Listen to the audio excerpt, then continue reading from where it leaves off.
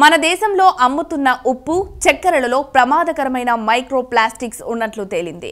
ఏ brand ఉప్పు పంచదార అయినప్పటికీ ఇందుకు మినహాయింపు కాదన్న విషయాన్ని చెబుతున్నారు.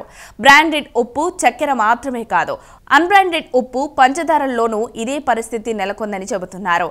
టాక్సిక్స్ లింక్ అనే పర్యావరణ పరిశోధన సంస్థ micro plastics in salt and sugar అనే పేరుతో జరిపిన అధ్యయనంలో భాగంగా పది రకాల ఉప్పు ఐదు రకాల పంచదారను శాంపిల్గా స్వీకరించారు.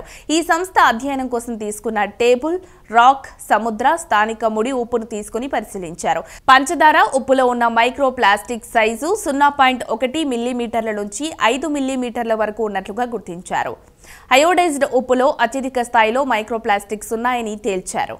ఒక అంచనా ప్రకారం భారతీయులు రోజు సగటున పది పాయింట్ తొమ్మిది ఎనిమిది గ్రాముల ఉప్పును పది చెంచాల పంచదారను తీసుకుంటారని గుర్తించారు. ప్రపంచ ఆరోగ్య సంస్థ ప్రమాణాలతో పోలిస్తే ఇది చాలా తక్కువగా ఉండటం గమనార్హం. ఇదే కంటిన్యూ అయితే మనకు ఫ్యూచర్లో సంబంధిత రోగాలు చుట్టుముట్టడం ఖాయమంటున్నారు నిపుణులు.